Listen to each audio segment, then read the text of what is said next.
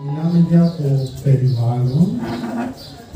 Τα παιδιά καταλαβαίνουν λίγο πολύ και οι πιο μεγάλοι ότι τι είναι το περιβάλλον, τι είναι το φυσικό περιβάλλον, είναι όλα αυτά που είναι γύρω μας, που μας περιβάλλει. Είμαστε τυχεροί γιατί ζούμε στη Λέσβο, ένα νησί το οποίο είναι, έχει πάρα πολύ πλούσιο φυσικό περιβάλλον και είναι πολύ σημαντικό αυτό και το βλέπουμε ότι υπάρχει πολύ μεγάλο ενδιαφέρον γι' αυτό από τα χρόνια της αρχαιότητας ακόμα. Ο Αριστοτέλης, η πιο μεγάλη που ξέρω, η πιο μικρή ίσως, όχι τόσο που ήταν ένας αρχαίος φιλόσοφος, είχε ζήσει στο νησί της Λέσβου για δύο χρόνια και ήρθε και μελέτησε ουσιαστικά και είδε το φυσικό περιβάλλον του νησιού και έγραψε και ένα βιβλίο γι' αυτό. Ουσιαστικά ήταν η αρχή, λέω για του πιο μεγάλου παράγοντε, της επιστήμης της βιολογίας. Ουσιαστικά μελετώντας εδώ κοντά σε εσάς, το πρώτο της Καλυβής, μελετώντα και βλέποντα τα ψάρια, τις σουφιέ, τα καπόδια, πράγματα τα οποία βλέπουμε και σήμερα, κάνοντας βόλτες με τους ψαράδες, ε, προσπάθησε να εξηγήσει τι ακριβώς συμβαίνει στον κόσμο και να μπορέσει να τα καταγράψει αυτό το πράγμα συστηματικά. Έτσι ουσιαστικά ξεκίνησε η επιστήμη τη βιολογία και τη ψυχολογία. Ο Θεόφραστο, που ίσω τον ακούσει έτσι πάρα να στην Μεσό, ήταν μαθητής του Αριστοτέλη και ήταν πάρα πολύ σημαντικό γιατί ήταν και με την γνώση, ήταν το νησί μα, ήταν το νησί Και το περιβάλλον του νησιού είναι ιδιαίτερο και είναι σημαντικό, ουσιαστικά γιατί έχει πάρα πολλά διαφορετικά πράγματα και αυτό είναι το, το πιο ιδιαίτερο.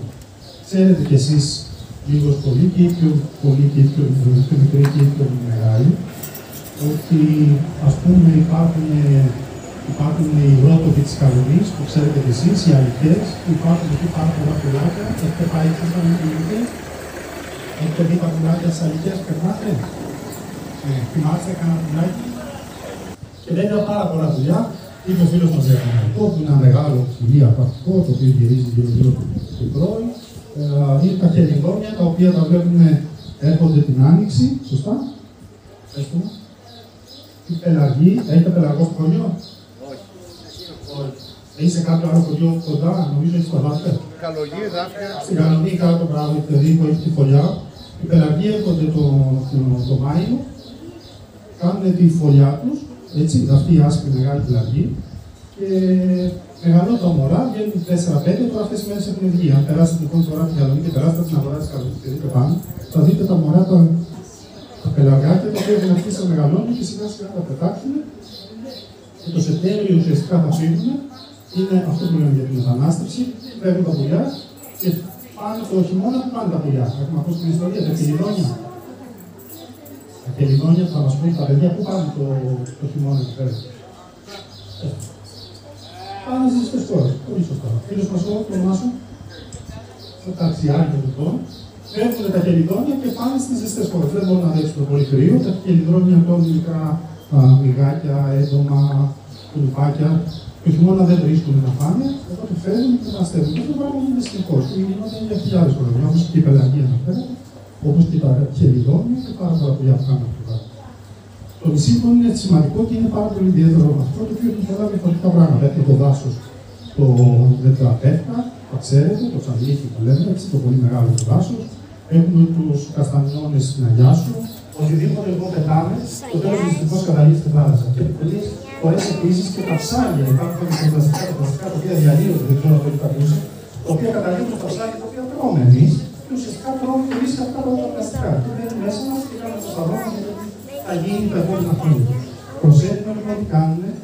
Η κάθε μας πράξη έχει κάποιες συνέπειες, να το σκεφτούμε αυτό το πράγμα. Τα παιδιά έχουν εμείς ένα καλό δρόμο νομίζω και σιγά σιγά περνάει αυτό το πράγμα και αυτό το μήνυμα για να έχουν όσο γίνει περισσότερα σκουπίδια, ελπίζοντας ότι σιγά σιγά θα μπορέσουμε να δώσουμε ένα καλύτερο τόπο για τις επόμενες γενιές. Γιατί αυτό είναι το σημαντικό.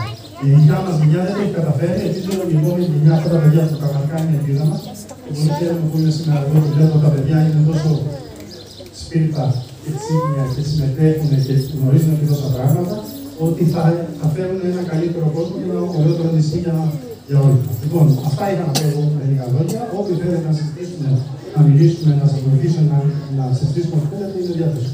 Ευχαριστώ.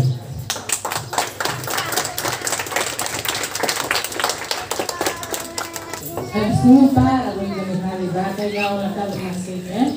Και τώρα λέμε να ξεκινήσουμε να παίξουμε. Θέλω να έρθουν ένα-ένα τα παιδιά εδώ, στη σειρά, όμορφα. Να βάλουν τα ραντάκια. Θα σας βοηθήσει η Μαρία να βάλετε τα ραντάκια.